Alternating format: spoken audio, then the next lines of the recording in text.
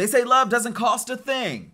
Ah, I take Visa and PPP. Yeah. I ain't taking email to CC me. But as I recently discovered, there's a new rap duo who has hit the music scene, and they're on a quest to get the man and secure the bag. Their song, Seduce and Scheme, is it entertainment or a call to action? I'm Justin Carter here with the TSR Investigates special report.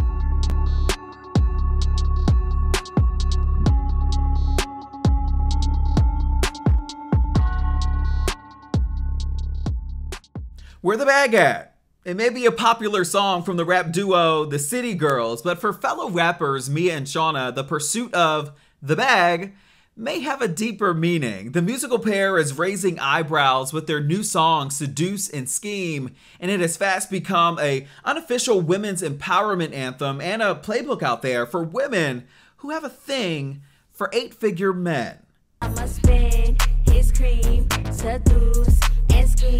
For single American women in 2022, the table is turning, and rather than being played by men, it's the women who are doing the playing. Statistics from Fidelity's recently released Single Women in Money study, it shows that women are becoming more independent than ever. Gonna check the deuce and leave. You think I like your smile? It's the juice for me. The study shows that 64% of single women said that financial stability is the second most important characteristic that they're looking for in a partner that's right behind honesty and integrity. Men, on the other hand, placed honesty, physical attraction, and a shared level of intelligence before financial stability. So, what do the ladies have to say about all of this? We took it to the streets. We met Raven Davis. Davis has been securing her bag for years now. She says that Mia and Shawna are onto something. It is perfect timing. In this economy, look at these gas prices. I need your money and mine too, real bad. We can't afford to do anything for free these days. Inflation is inflating. So that changes the dating landscape. You gotta come with the coins, period. You gotta let them know ahead of time. You gotta show them the lifestyle that you keep up without them so they know what to expect.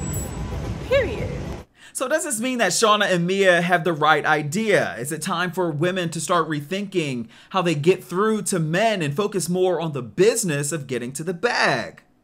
We'll leave that up to you to decide. This is a TSR Investigates special report. I'm Justin Carter.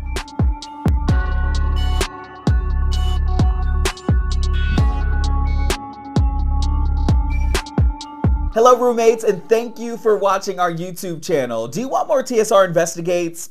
Be sure to subscribe and check us out at theshaderoom.com.